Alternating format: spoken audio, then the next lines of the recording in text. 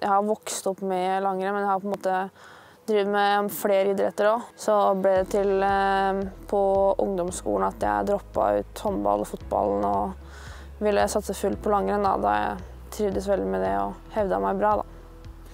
Hei, jeg heter Marte Mælum Johansen, jeg er 18 år og jeg går for Østre Toten skilag.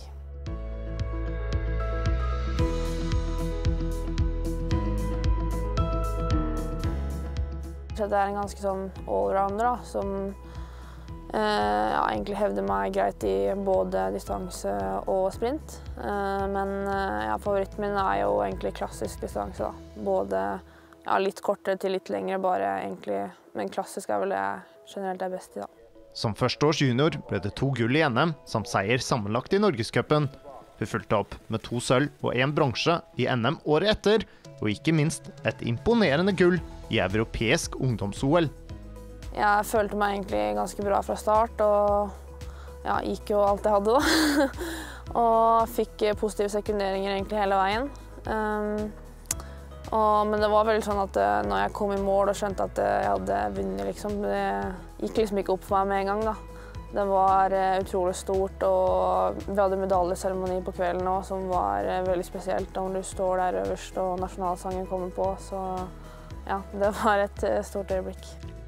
Denne sesongen har vært en eneste stor opptur for Marte, spesielt i 5 km klassisk. Det ble seier i mønstringsrennet på Åsen. Hun fulgte opp med en førsteplass i norgescuprennet på Hovden, før hun reiste til Romania og junior-VM. Der gikk hun rett og slett bort og ble juniorverdensmester, på tross av at hun fortsatt har én sesong igjen i eldre junior. Jeg føler jeg har mye å gå på, egentlig.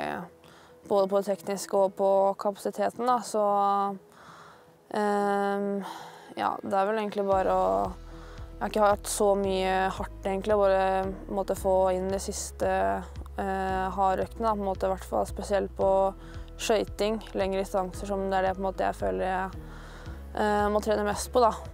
Sesongens siste mål er NM på Gåsbu. Her er juniorverdensmesteren storfavoritt til klassiskrennet. Langsiktig så håper hun å kunne ta steg videre mot toppen som senior. Jeg vil jo prøve å bli så god som mulig, da.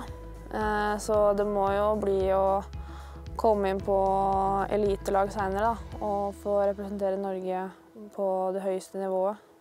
Eh, eventuelt OL og VM-mål er jo en drøm.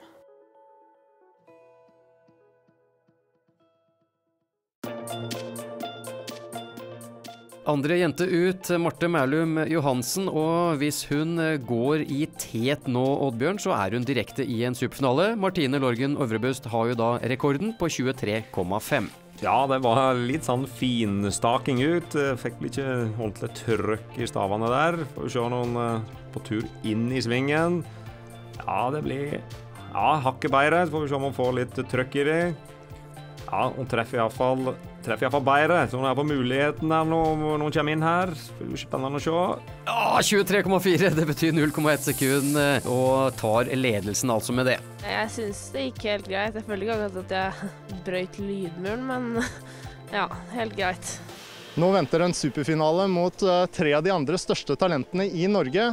Hva tenker du om det? Nei, Det blir gøy. Det blir spennende å se hva vi skal gjøre. Så får jeg se hvor hardt jeg klarer å bite fra meg der. Her ser vi resultatlisten, da. 23,4, 0,1 eh, foran Martine. og Det betyr at hun er direkte kvalifisert til superfinalen, og kjemper da om 50 000 kroner. Ja, Hun starta litt småpent, men så kom det seg bra på slutten her. og Jeg tror det var avslutningen som gjorde at hun uh, greide dette her.